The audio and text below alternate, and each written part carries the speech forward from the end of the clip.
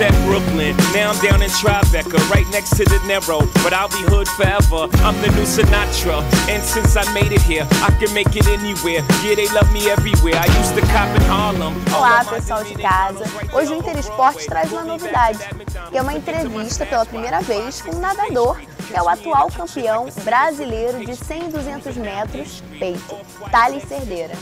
Oi, Thales, tudo bem? Tudo ótimo, prazer estar aqui com vocês. Seja muito bem-vindo ao Inter Esportes. Eu queria que você falasse pra gente, se apresentasse pro pessoal de casa, e às vezes as pessoas não te conhecem ainda, então eu queria que você falasse um pouquinho dos títulos que você já tem aí nessa sua bagagem. Bom, é, hoje eu sou o atual campeão brasileiro dos 100 e 200 metros peito. É, fui campeão no Troféu Maria que aconteceu em maio. É, há duas semanas atrás eu estava nos Estados Unidos competindo no Campeonato Pan Pacífico, é, onde eu fui sétimo colocado. Estavam lá os americanos, os japoneses, australianos, canadenses, é, neozelandeses, é, entre outros países da América do Sul. É, acho que hoje o mais importante é a minha colocação no ranking mundial. É, hoje eu sou o décimo colocado no, no 100 metros peito, no ranking mundial da prova. É, sou sétimo colocado nos 200 metros peito, então isso aí é, é, mostra que a natação está evoluindo bastante e dá para esperar muita coisa realmente a partir do ano que vem, onde tem o Pan-Americano e 2012 onde tem a Olimpíada.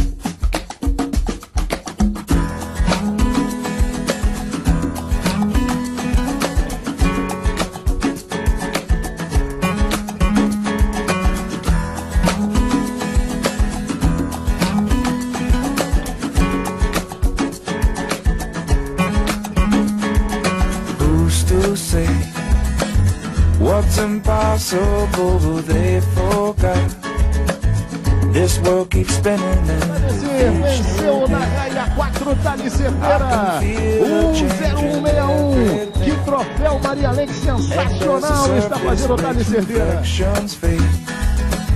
But in some ways they remain Thales, é, você treina lá em São Paulo, a gente conversou um pouquinho em off sobre isso, falou da estrutura que a natação precisa. Eu queria que você passasse para o pessoal de casa como é que funciona, que estrutura é essa necessária para um nadador se preparar de forma ideal assim, na competição? É, a gente precisa, o nadador precisa do básico, que é uma piscina é, boa, aquecida, né? Porque no inverno tem que estar aquecida é, de profissional qualificado, de uma estrutura na parte de musculação, uma parte de fisioterapia, de médico e, e, e especificamente ainda mais, especificando ainda mais, é, no nosso caso lá no Pinheiros a gente tem um trabalho de biomecânica muito bom, hoje é, com um dos melhores profissionais que tem no Brasil, é, que fazem filmagem subaquática para correção de técnica, fazem é, filmagem de saída, filmagem de, de fundamento, então realmente é, eu acho que para a gente começar a se igualar aos países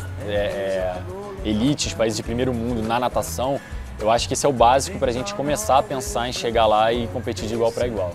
E o que, que, tem, além disso, tecnologicamente falando ou estruturalmente falando, nos países de primeiro mundo que ainda não tem aqui? Eu acho que essa, essa, essa junção de tudo, né? Porque hoje aqui é, a gente tem exemplos de, de, lugares que tem uma estrutura muito boa, mas aí você, se você se machucar, você tem que ir em outro lugar fazer uma fisioterapia, você tem que ir em outro lugar fazer uma, uma musculação mais adequada. E lá não, eles conseguem juntar tudo que um nadador, um atleta em geral precisa no mesmo lugar.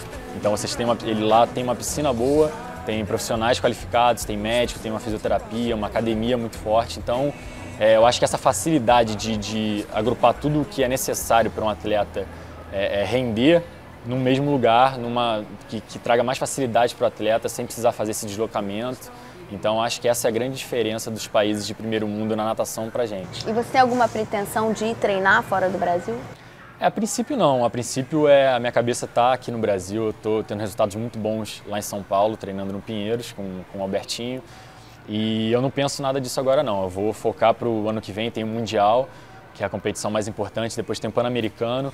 Em 2012 tem a Olimpíada em Londres, então meu objetivo a princípio é esse e é continuar aqui no Brasil. A gente também estava conversando um pouquinho em off e você falou se a Olimpíada fosse hoje, você seria o representante brasileiro.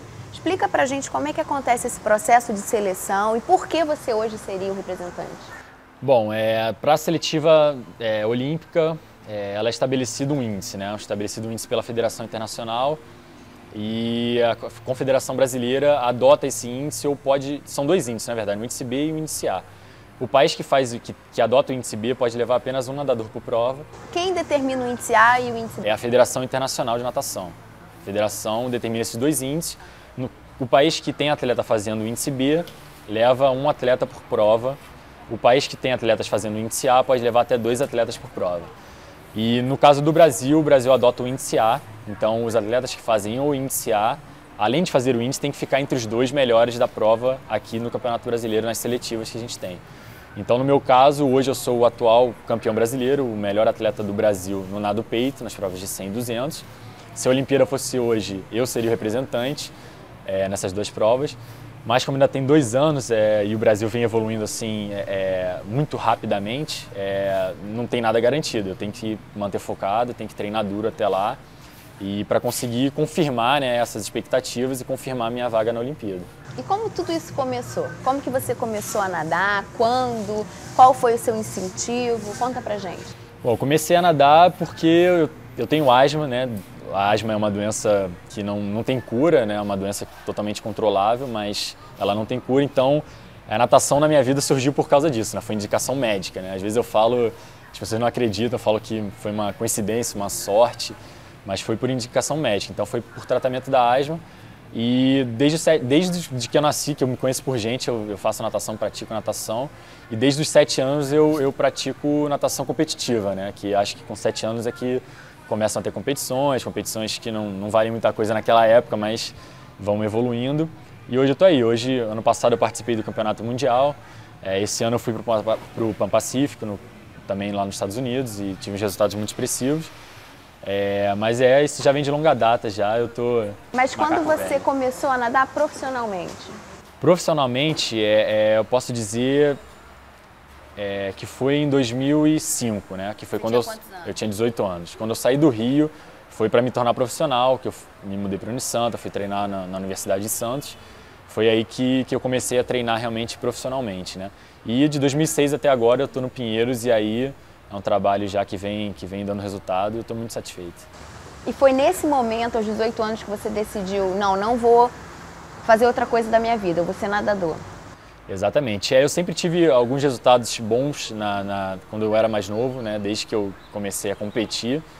E, mas eu acho que chega uma hora que a gente tem que tomar uma decisão, né? E, e é uma decisão difícil porque a natação ela implica uma série de, de abdicações. Você tem que abdicar um, um certo é, um certo tempo da faculdade, da sua vida pessoal, da sua vida é, para se divertir. Então, foi nessa, nessa, nesse momento que eu saí de casa para morar sozinho, longe dos meus pais, que realmente foi o, o ponto chave assim para eu me decidir que eu sei que eu queria levar essa vida de atleta profissional.